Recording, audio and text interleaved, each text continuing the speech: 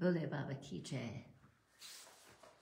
Welcome to today's um, broadcast from the ashram. We're not going to do a fire ceremony this morning because of the eclipse. We're all going to our rooms for quiet meditation, and the temple will be closed now until 12:30.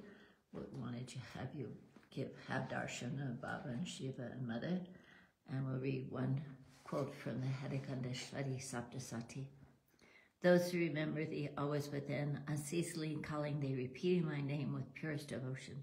They care not for body and living, always contented being a servant at thy lotus feet.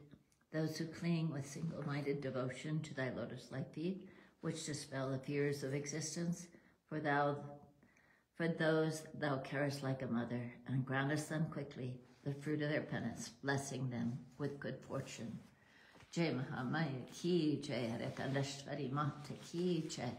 And we'll reconvene tomorrow morning at 8.30 for the beginning of our Navaratri special pujas. Puja will be to Mother Durga at 8.30. Then we'll live stream again at 11 for the large fire ceremony, which will go on every day for nine days for um, at 11 o'clock, followed by a discourse on the Divine Mother and chanting. So Bole Baba Ki Jai. This is because of the eclipse today. We're having just a short moment with Mother before we close up the temple until one o'clock today. Bole Baba Ki Jai.